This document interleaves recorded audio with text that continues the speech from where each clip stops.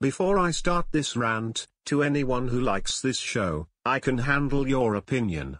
Anyways, enjoy. Bubble guppies? More like stupid dummies. Oh my god. This show sucks. This show is about a group of guppies and they like to go on failure adventures together. Molly says it's time for bubble guppies so many times, which is very annoying. Gil is a scaredy cat. Goby watches a lot of Pinkalicious and Peterific 24-7. Deema throws a tantrum about Jack and Jellify not uploading TPOT10. Oona acts like a four-year-old. Nonny is horrible. In one episode, his glasses broke. Ha ha ha, he deserves it. I never liked Bubble Guppies. Not even in 2014. Thank God this show got cancelled in June 30, 2023.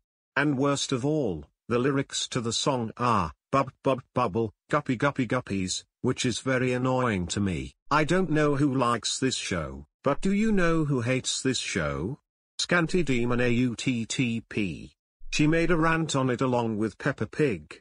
And I apologized to her for making a commentary on it. Bubble Guppies sucks, and so does Team Umizoomi. Non-preschool cartoons are infinity times better than Bubble Guppies.